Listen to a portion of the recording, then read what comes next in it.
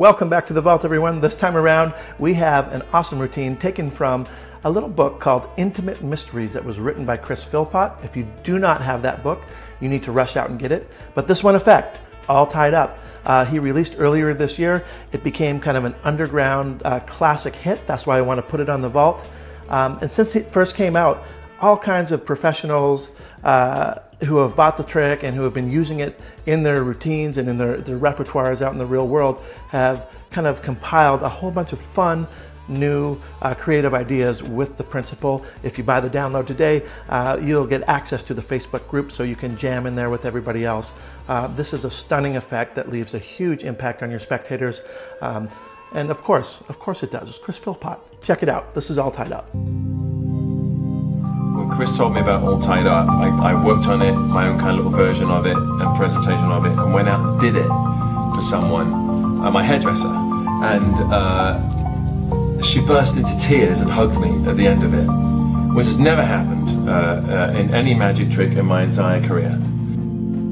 What, what I love about this trick is on an emotional level, it hits people, especially uh, women, I think, in a, in a in a gut place that makes this more than a trick. It is not about the trick. It's mm-hmm. about it really is about the experience. And I and that was proven immediately when the hairdresser said, "Do it for my friend." So she called over one of her other hairdresser friends. And I thought, well, okay, the, the, and she wasn't watching the deck at all. Right. Her first hairdresser, she no. was, she was watching the reactions of her friend, who started to tear up.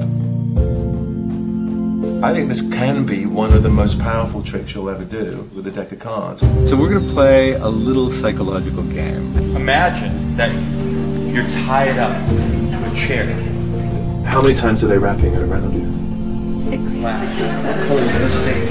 Black. Tell me, is it a blunt tool or is it a sharp tool that you will use to cut yourself free? Sharp. Sharp tool.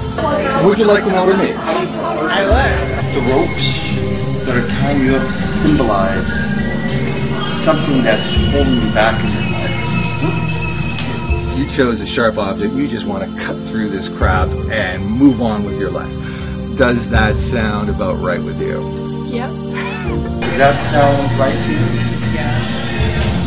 Does that kind of sound like you? Yeah. One other thing. Uh, you've also been choosing a card. Okay. You chose the seven of spades. Uh, Isn't that interesting? Uh-huh. There's a deck of cards. Underneath there's one card. Why don't you why don't you move it? Oh my gosh.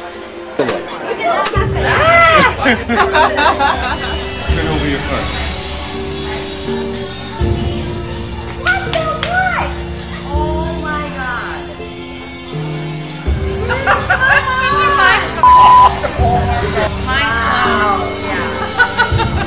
That's not all. It's not?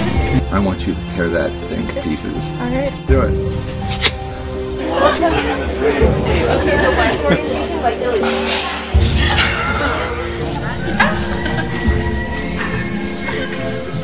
How do you feel? Relieved. How do you feel? I'm like shaky after that one. That is really powerful. How do you feel after that? Um, weirdly emotional. it's not very like myself to get emotional, but like I'm a little emotional.